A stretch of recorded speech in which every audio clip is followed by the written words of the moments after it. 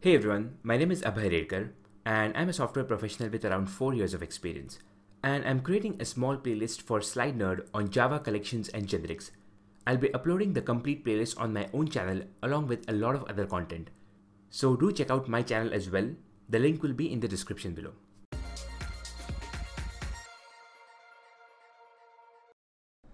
Hey everyone, welcome back. In the previous tutorial, we saw how to use generics in Java. Now, generics are mainly used with Java collections.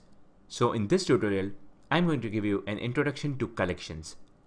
Now, in simple terms, a collection is an object that groups multiple elements into a single unit.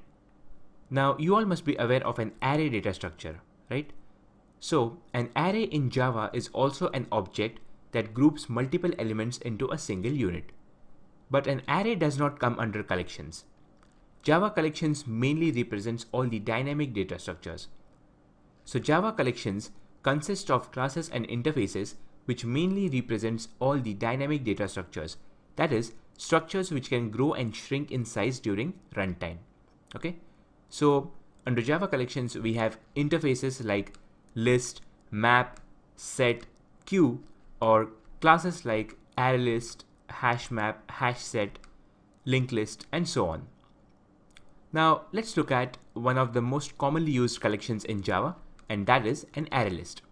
Now this array list class, uh, it implements the list interface. Okay.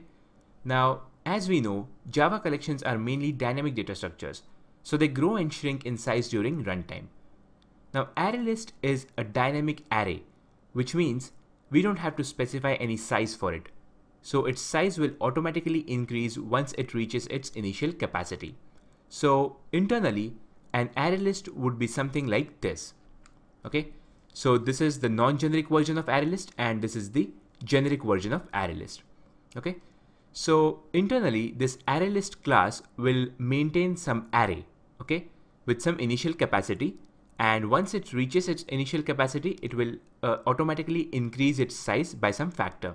Okay, so internally it will be using an array data structure, right? And that is the way an array list becomes dynamic.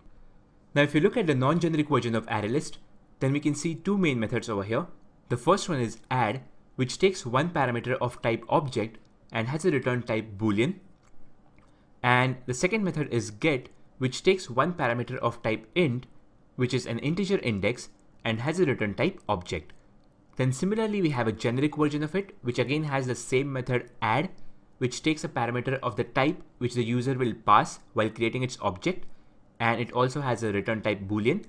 Then similarly we have a get method which takes an integer index as parameter and returns an object of the same type which the user will pass.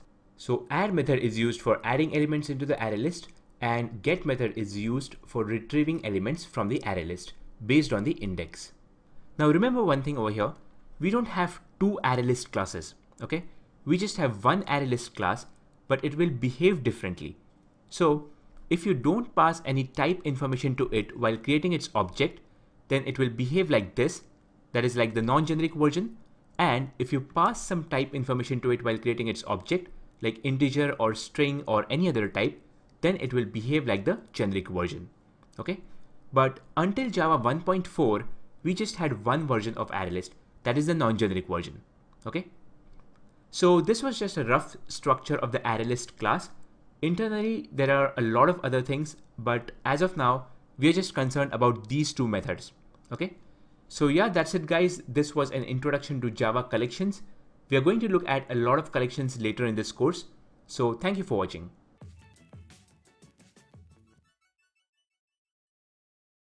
I hope you like this video. If you are into Java or web development, do subscribe to my channel the link will be in the description below. I will be uploading a lot of more content over there. Thank you for watching.